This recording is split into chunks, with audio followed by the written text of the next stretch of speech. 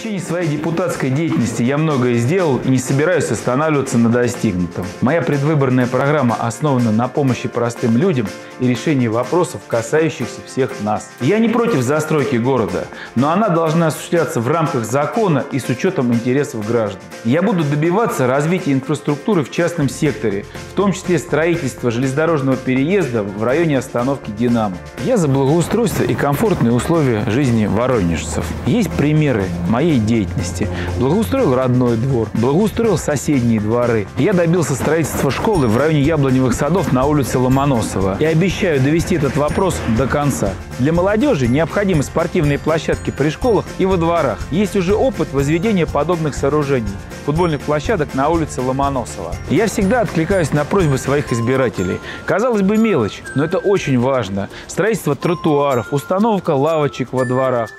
Сквер «Березка» – это вообще моя визитная карточка. В 2018 году этот проект занял призовое место на конкурсе общественного самоуправления. Этот проект мы реализовали с нуля, благоустроив территорию, которая находилась в полнейшем упадке. Здесь мы проводим праздничные мероприятия и концерты с участием жителей микрорайона. А это продолжение нашего сквера. И родители и дети очень довольны. Различные праздники и мероприятия мы проводим постоянно, что уже стало нашей доброй традицией. Мы находимся на улице Олимпийский бульвар. Это густонаселенный район.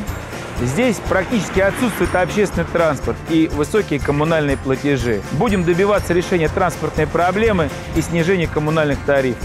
На улице Шишкова я буду добиваться качественного обустройства общественных пространств. Мы находимся в жилом массиве Олимпийский и знаем, что волнует жителей этого микрорайона. Это некачественная очистка от снега межквартальных проездов, неопределенность памятника Николаю Троицкому, малогабаритный общественный транспорт и постоянно текущая канализация по улице Шишкова. Далее в моей предвыборной программе защита экосреды. Моя задача – сохранить лес и парки для будущего наших детей. Мы поддерживаем многодетные семьи, мы поддерживаем различные молодежные социальные проекты, а также мы поддерживаем наших ветеранов. В этом году мы посадили молодые саженцы, посвященные ветеранам Березовой рощи.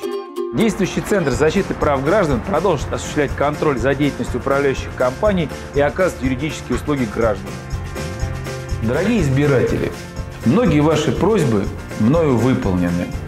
Впереди намечен большой объем работы. Прошу поддержать меня на выборах, чтобы я отставил ваши интересы.